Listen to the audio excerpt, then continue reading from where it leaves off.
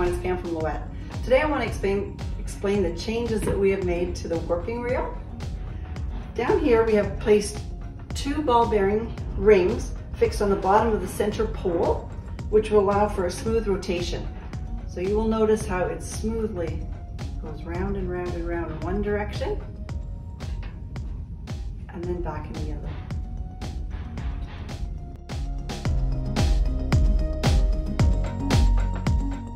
change we've made is to make it easier to spin. It spins much nicer than it did before with new bearings. You'll see it'll just spin all by itself.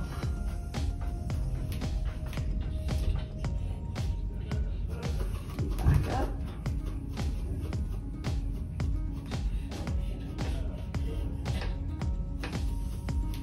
Down.